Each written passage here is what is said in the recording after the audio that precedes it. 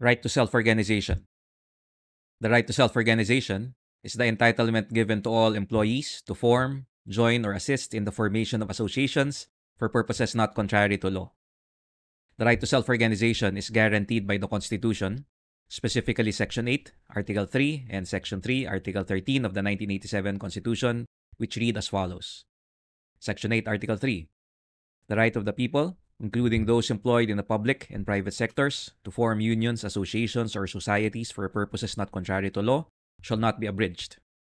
Section 3, Article 13 it shall guarantee the rights of all workers to self organization, collective bargaining and negotiations, and peaceful concerted activities, including the right to strike in accordance with law. The Labor Code of the Philippines, specifically Article 253, in turn states All persons employed in commercial, industrial, and agricultural enterprises, and in religious, charitable, medical, or educational institutions, whether operating for profit or not, shall have the right to self organization, and to form, join, or assist labor organizations of their own choosing for purposes of collective bargaining. There are two basic types of organizations that may be formed by employees. Number one, workers' association, and number two, labor organization. A workers' association is an organization of employees created for mutual aid and protection of its members or for any other legitimate purpose other than collective bargaining. A labor organization which is commonly known as a labor union, is an association of employees created for collective bargaining or dealing with employers concerning terms and conditions of employment. Who can form or join a workers' association? All kinds of employees, whether managerial, supervisory, or rank and file, who are working in any type of establishment, operating for profit or not, can form or join a workers' association. Who can form or join a labor organization? Number one, supervisory employees. And number two, rank and file employees. These employees could be employed in any kind of establishment, whether commercial, industrial, agricultural, religious, charitable, medical, and educational institutions operating for profit or not. Therefore, employees of non-profit institutions can form a labor organization and bargain collectively with their employer. Who are considered as rank and file employees, those who are neither managerial nor supervisory.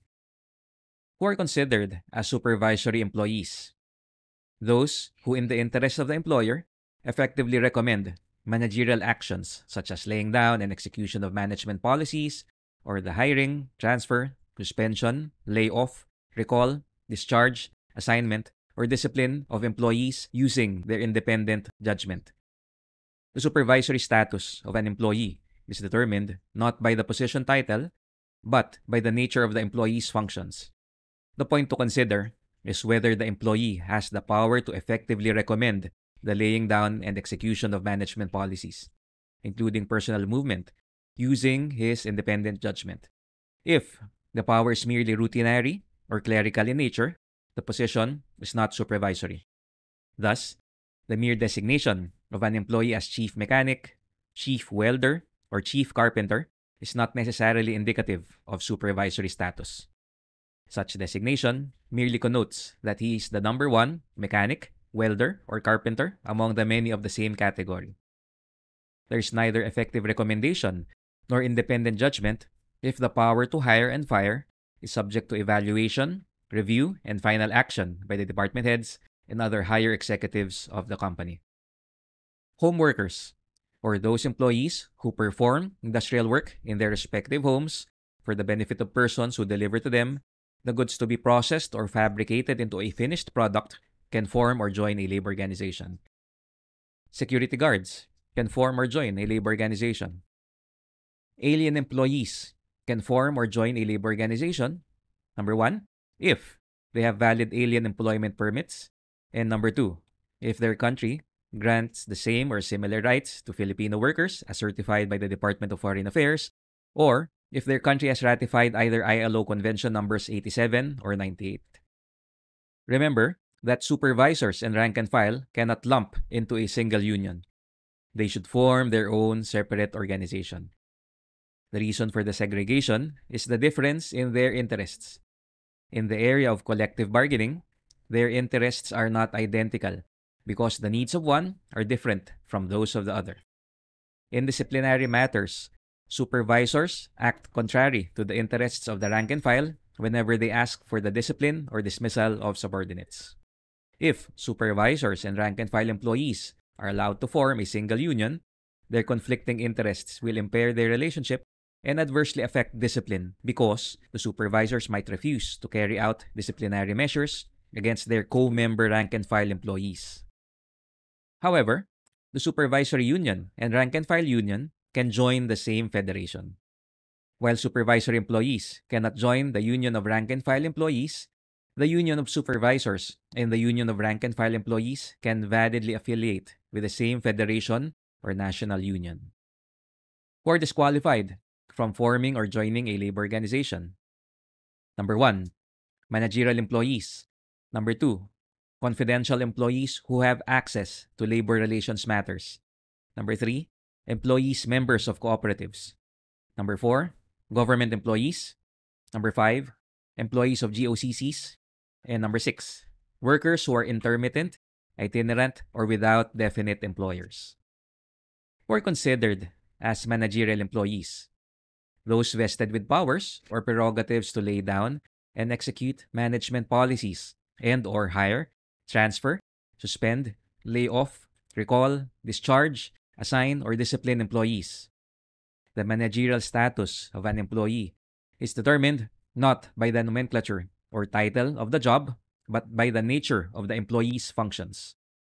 The point to consider is whether the employee possesses authority to act in the interest of his employer on his independent judgment. The mere fact that an employee is designated as manager does not ipso facto make him one.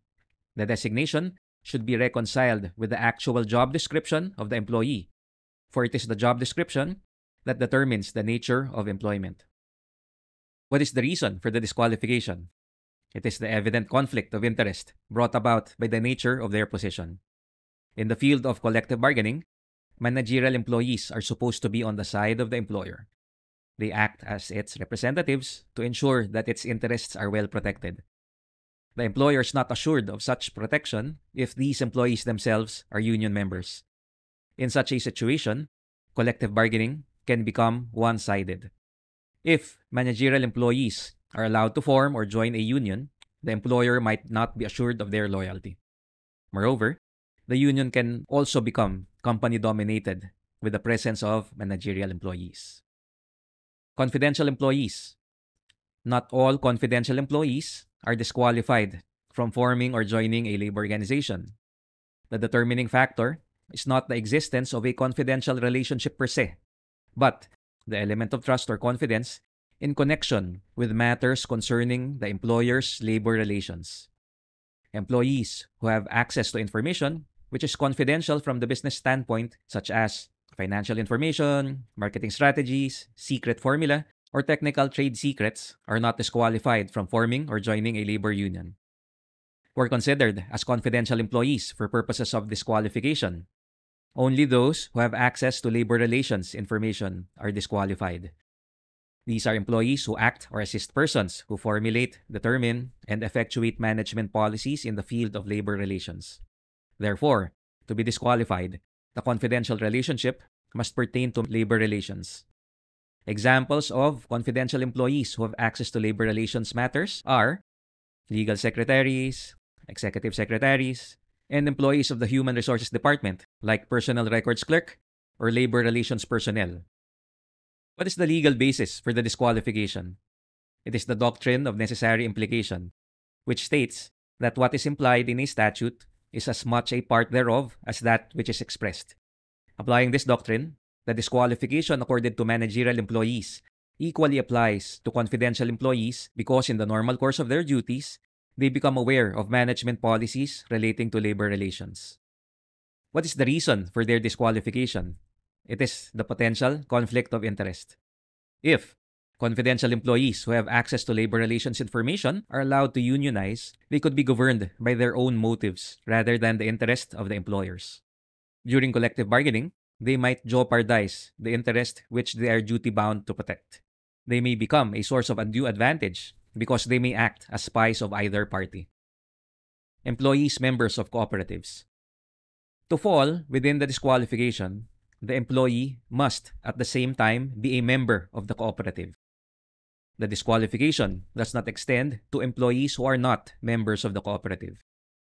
What is the reason for the disqualification? This is because the members are co-owners of the cooperative.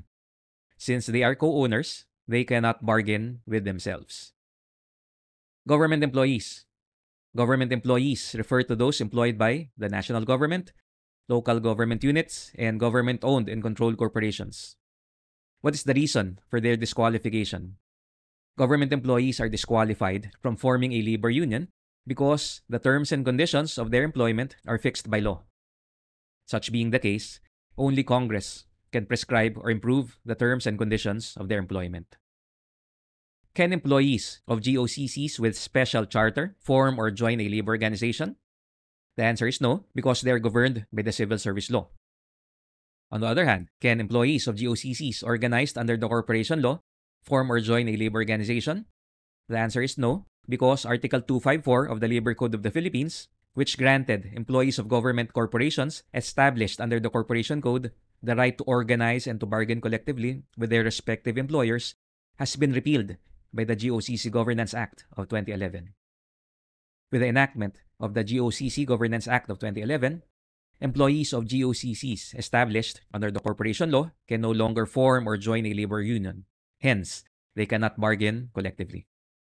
The reason is that the GOCC Governance Act of 2011 has provided a compensation and position classification system which applies to all GOCCs, chartered or non-chartered.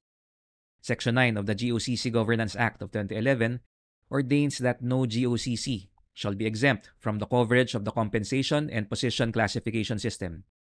Therefore, for purposes of disqualification from forming a labor union, the term GOCCs refers to both chartered and non-chartered corporations.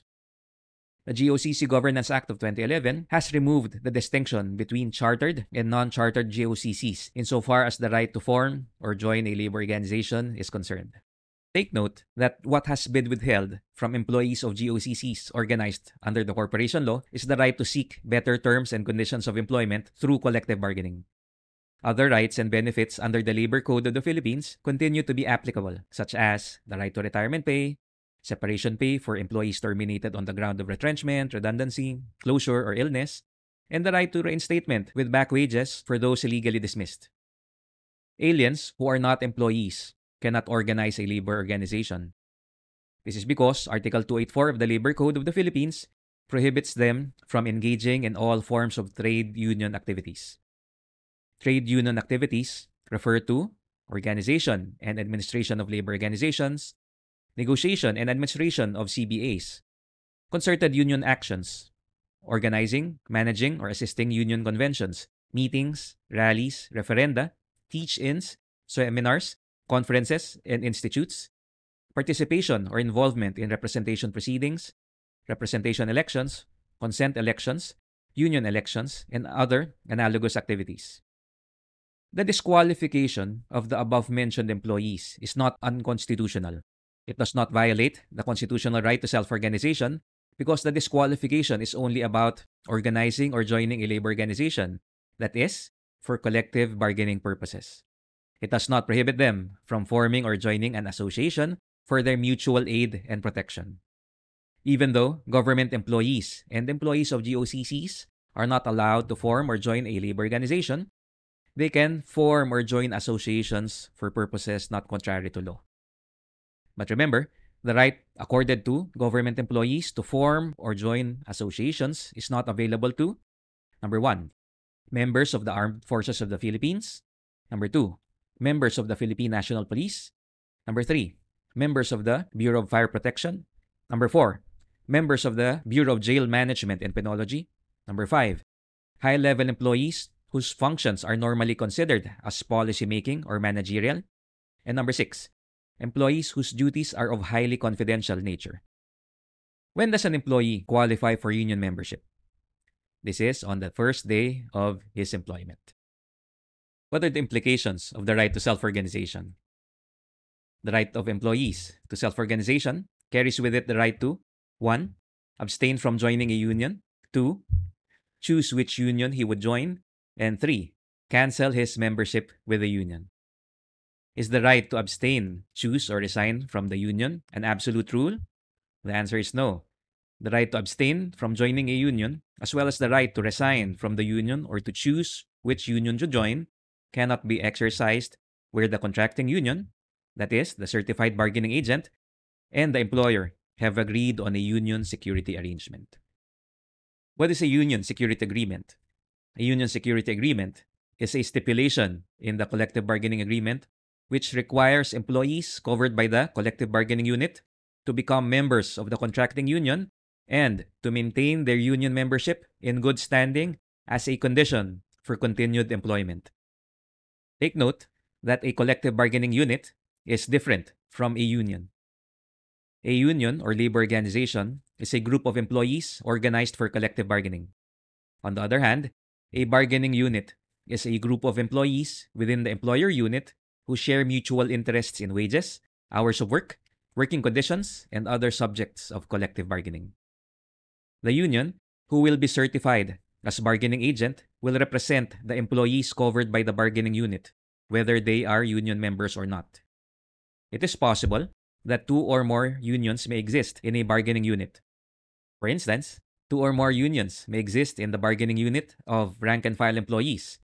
As to which union will represent the bargaining unit will be settled through a certification election. The union that wins in the election will be certified as the bargaining agent of the bargaining unit of rank and file employees. Note the types of union security agreements closed shop, union shop, maintenance of membership, preferential shop, and agency shop. Number one, closed shop. Closed shop is an agreement whereby the employer binds himself to hire only members of the contracting union who must continue to remain members in good standing to keep their jobs. Number two, preferential shop. Preferential shop is an arrangement whereby the members of the contracting union are given preference in engagement, all circumstances being equal, and for them to maintain their membership in good standing during the lifetime of the collective bargaining agreement as a condition of continued employment. Number three, union shop. Union shop is an agreement whereby the employer can hire non-members of the contracting union on the condition that they should join the union within a specified period and must continue to remain members in good standing to keep their jobs. Number four, maintenance of membership. Maintenance of membership is an agreement which requires those who are members of the contracting union at the time of the execution of the collective bargaining agreement to maintain their membership in good standing as a condition of continued employment. Number five, agency shop. Agency shop is an agreement which does not require union membership but only support in the form of agency fees from the employees which are covered by the bargaining unit.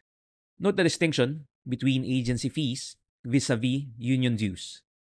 Agency fees are assessments made by the union against non-union members covered by the bargaining unit who accept the benefits under the CBA. On the other hand, union dues are assessments made by the union against union members. If there is a closed shop or union shop agreement in a certain establishment, is it possible for the contracting union, that is, the bargaining agent, to assess agency fees?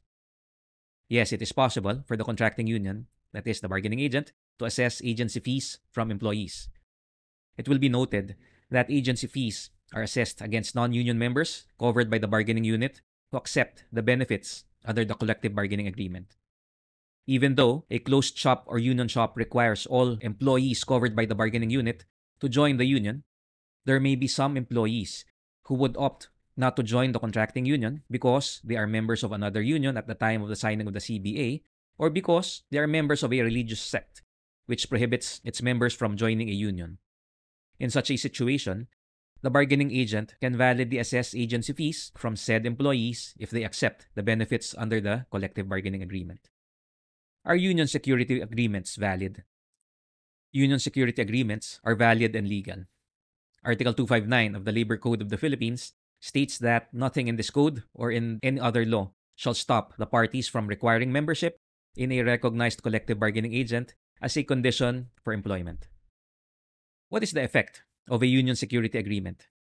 If there is a union security agreement, the employee must join the contracting union and or maintain his membership in good standing to retain his employment. He can resign from the union only during the freedom period, that is, within the 60 day period prior to the expiration of the collective bargaining agreement. If the union member fails to maintain his membership in good standing or resigns prior to the freedom period, he will be subject to dismissal.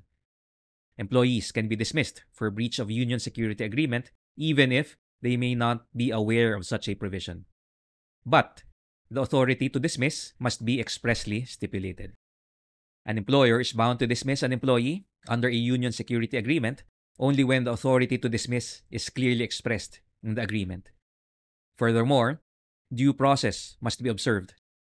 If a union member refuses to join the union or fails to maintain his union membership in good standing, the union will recommend to the employer his dismissal from employment. But before effecting the dismissal, the employer must observe due process, which means that the employer should first require the employee to explain, conduct administrative hearing if necessary, and proceed to dismiss the union member only when warranted by the evidence. What is the sanction for the employee's failure to observe due process? If the dismissal is found to be valid and justified, but the employer failed to observe due process, then the employer and the union will be solidarily liable for nominal damages. Note the facts to be proved if the employer is sued for illegal dismissal for terminating an employee for breach of the union security agreement, the employer should prove that number one, the union security clause is applicable. Number two, the union requested the employer to enforce the union security agreement. And number three, there is sufficient evidence to support the union's decision to expel the employee from the union. Note the limitations on the applicability of union security agreements. Number one, union security agreements cannot be enforced against employees who are already members of another union at the time of the signing of the collective bargaining agreement. Number two, union security agreements cannot be enforced against employees who were unjustifiably refused admission by the union itself. And number three, union security agreements cannot be enforced against employees who are members of religious sects, which prohibit the members from joining a labor organization. The reason is that the free exercise of religious belief is superior to contract rights. What is the effect of a union security agreement in case of merger? Union security agreements apply to employees who were absorbed because of merger of corporations. Otherwise, it will lead to an inequitable and very volatile labor situation. What is the importance of the right to self organization?